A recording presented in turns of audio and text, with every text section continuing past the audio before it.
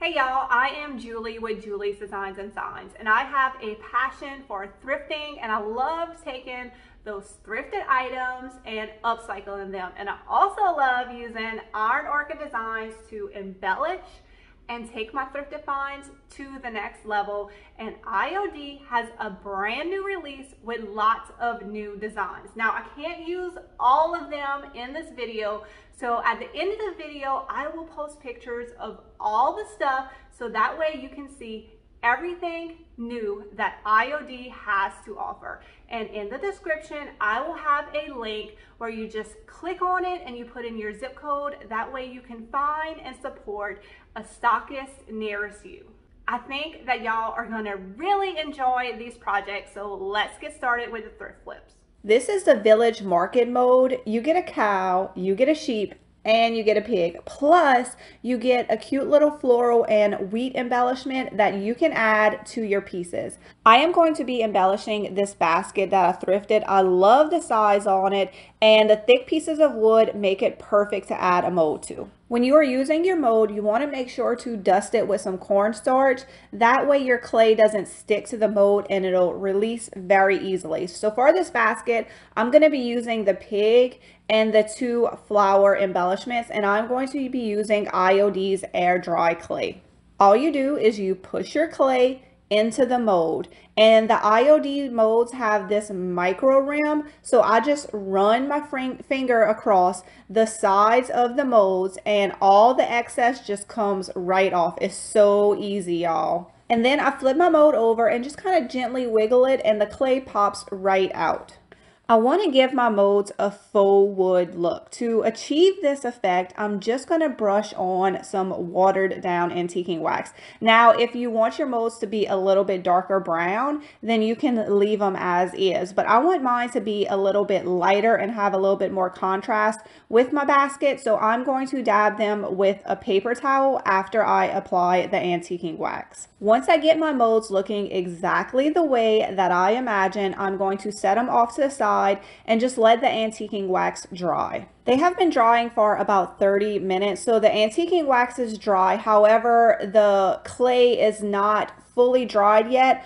I want to attach it to the basket while it is still just a little bit wet. That way I can really form it to the basket's shape. I'm going to be using Gorilla Glue to attach my molds to the basket. This is what I use all the time for my clay molds. Whether I glue them on while they're still wet or dry, it works out perfectly. So I'm just going to apply it to the back of the mold and then I like to kind of rub the glue with my finger and make sure it is on every part of the mold. And this also keeps the glue from dripping. It keeps you from having too much glue on your piece. So I'm going to do this to all my pieces and then apply them to this basket. Also when using this glue I like to let my pieces dry for 24 hours before touching them, them again. So once the glue is fully dry this basket will be done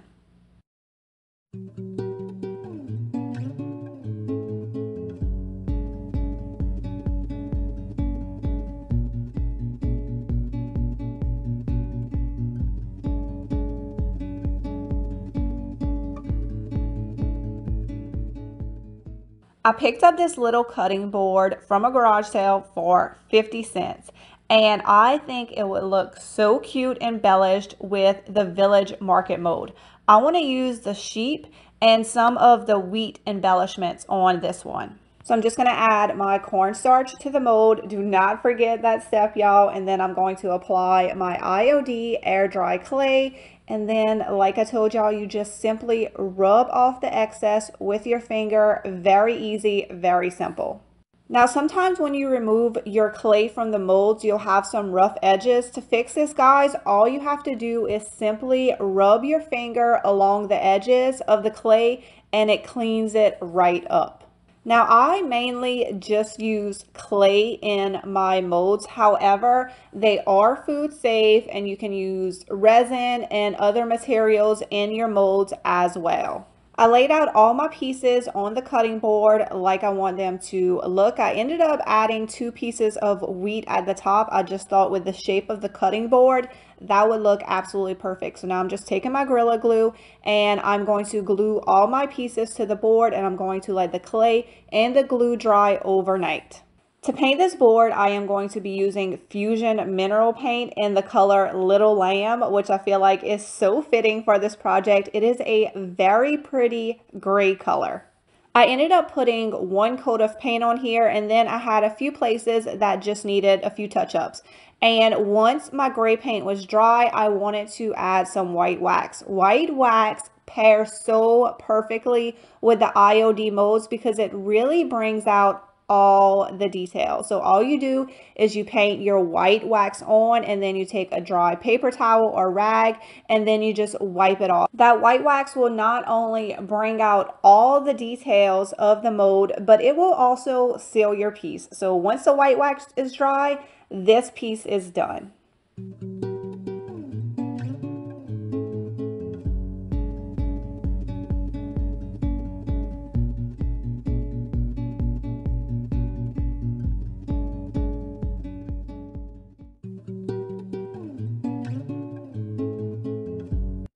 For these next few projects, I am going to be using the Whispering Willow Transfer, which may be one of the sweetest transfers I have ever seen.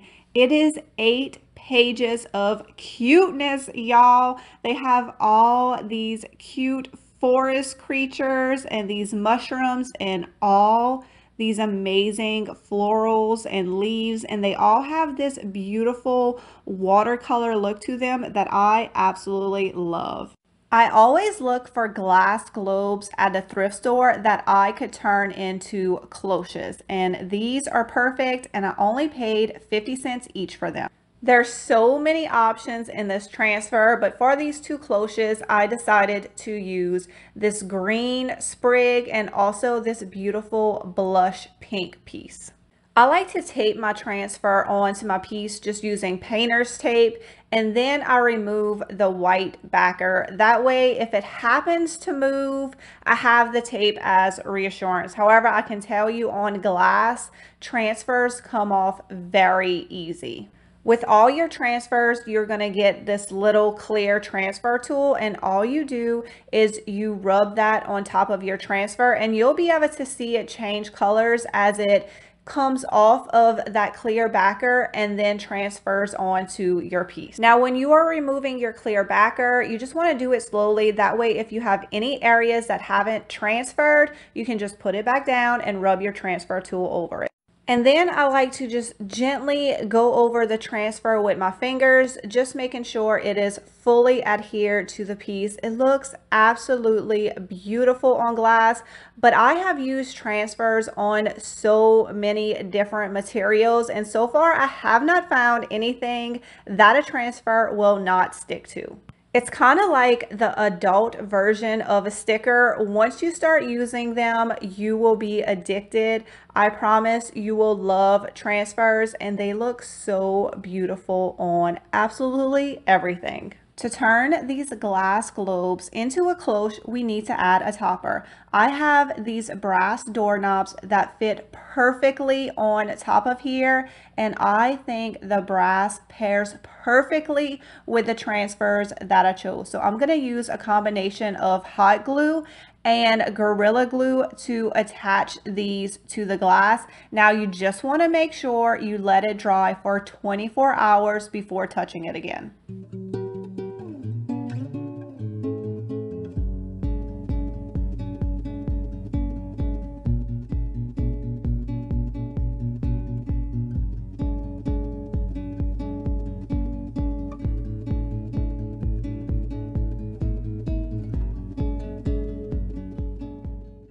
I thrifted this white metal canister. I think it's just an old popcorn tin, but I love the age on it and that it had both gold and silver trim. This transfer set has quite a few beautiful bird images in it, and I thought this white canister would be perfect to store my bird food in. I love feeding all the creatures in my backyard. So I picked out the bird print that I thought would look best on here and I am just going to apply it to the canister. Now when you first look at this transfer set, you may think it's for a kid's room, but I do not think it is. I mean, you could definitely use it for a kid's room, but there are so many other beautiful images, especially the florals, the greenery, the birds, and the mushrooms. Look how beautiful this came out. I absolutely love this transfer set. After I applied the transfer, I then decided I wanted to add the words bird food to it. So I'm going to be using the IOD letterpress stamp and also the IOD ink in the color Stone Gray. Now, when you order a new IOD ink color, you want to make sure you also order an empty ink pad.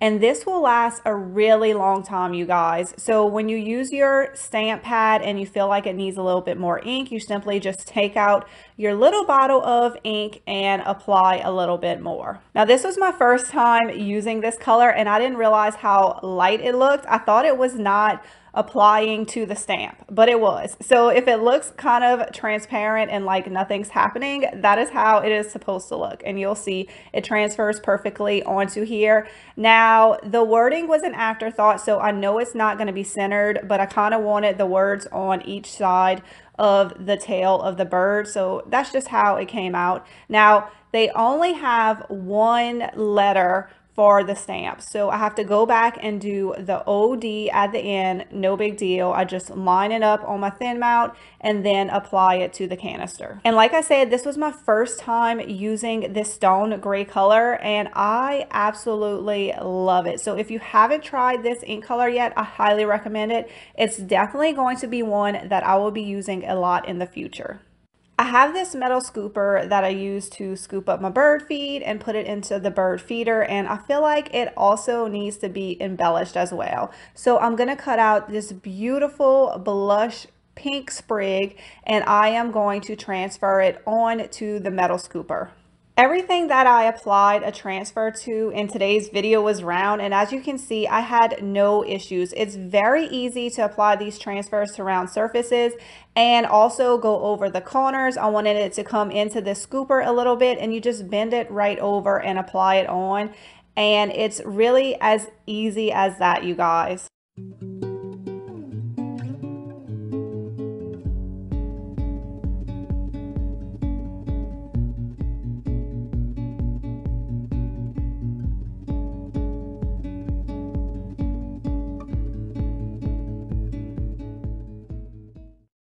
This is IOD's Bella stamp and it is filled with beautiful embellishments. You have this larger piece that is actually two pieces so you can use it together, you can use it separately. They have all of these little corner pieces, the longer piece and that beautiful circle medallion looking one. I absolutely love this stamp. I purchased these frames from the thrift store. I really like that they had the wood mat around it and I really liked the color that these frames were painted although the paint job was in pretty rough shape. So I decided just to make it look like it was supposed to be distressed. So I went around with 220 grit sandpaper and just sanded all the edges and that worked perfectly. It made it look like all the imperfections and the scratches in the paint were supposed to be there. And best of all, I did not have to repaint these frames.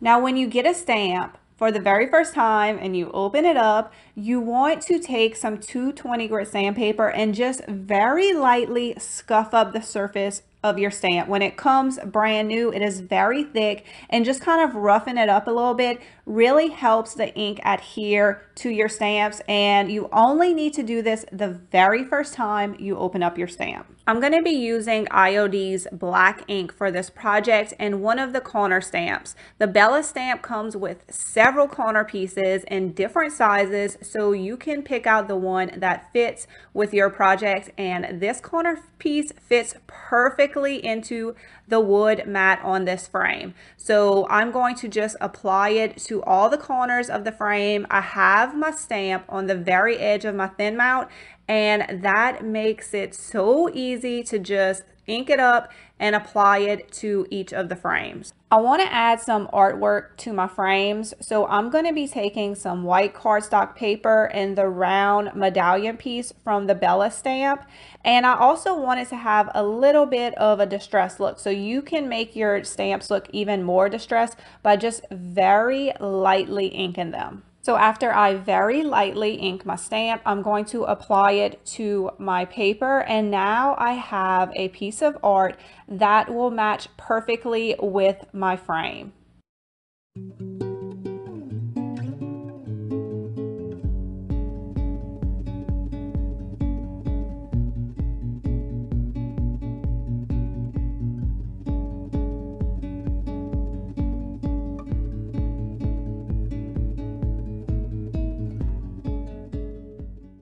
This is IOD's Olive Crest Mold, and I really like this one because it has so many different embellishments that you can use on a bunch of different projects. So we're to start off with this old crusty pan. Y'all know I love picking up this kind of stuff at the thrift store. As you can see, I've already been loving and using this mold. Before you use your mold, you don't want to forget to apply your cornstarch. This will help keep your air dry clay from sticking and it allows your clay to easily release from the mold. So you just take your clay and you press it into your mold and IOD has those micro rims. So all you have to do is just rub your finger across the edges of the mold and all the extra clay comes right off. Then you're going to gently take your clay out of the mold. Now in the mold, this one is a semicircle. However, it is very thin and the clay is movable. So you can you know, transform it into whatever you want. So actually this one,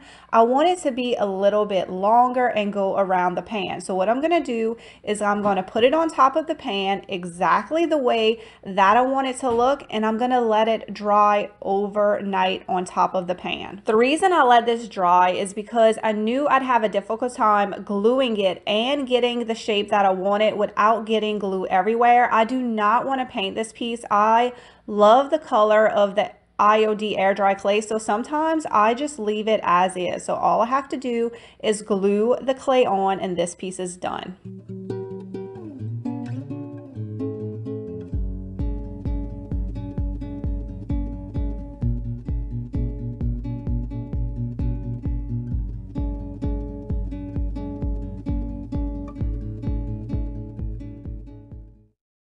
Purchased a set of three wooden containers at a garage sale for $3. Now, they look okay as is, but we are going to take it to the next level using the olive crest mold. I want to use the mold that is in the center. It kind of looks like a little label or a little frame, and I think it is going to be perfect to apply to the two square boxes.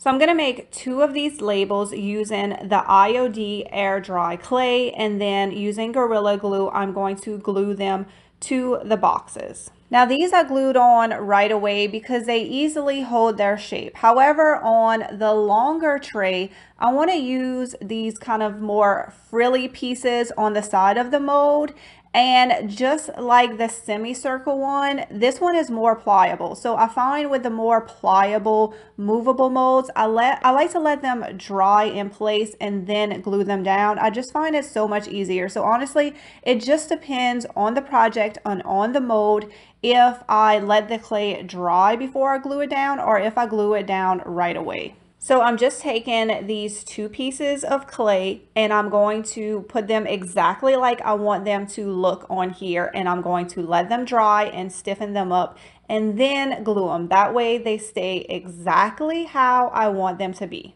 My clay and my glue has dried overnight and now I'm ready to move on to the next step. I really want to add some white wax to the entire piece. This wood is really rough, so I think white wax would just be perfect because it's really going to stay in all the details of the wood. And it also will kind of make it you know, blend in a little bit better with the clay since the clay is white. The white wax is going to add some white details to the box. So you simply just brush on your white wax and then you take a dry paper towel or rag and just kind of lightly wipe it off. I'm going to let the white wax dry for a little while before I move on to the final step. I want to apply a stamp to the little labels that I created on the boxes. I'm going to be using IOD's letterpress stamp. You get three different fonts in this stamp and they are the size that are perfect to embellish any piece. And I want to show y'all something with the thin mount. If you are stamping, I highly recommend ordering two thin mounts. One to keep in a large size and one to cut down so that you have all kind of different sizes of thin mounts to use for all your different projects projects. It's going to make stamping so much easier. So I'm just going to use the number one and the number two and the black IOD ink and I'm going to just apply one stamp on each label and I think it's just the perfect little detail, the perfect little embellishment for this little wooden box set.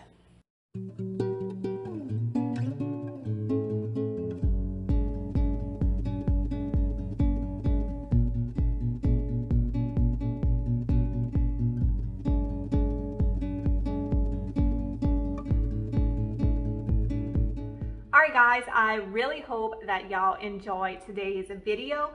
Please leave a comment below and let me know not only what was your favorite project, but also what is your favorite new IOD design. And don't forget to check the description below. I'm to have a link so you can find a stockist nearest you. Y'all have a great day and I hope y'all enjoyed this video.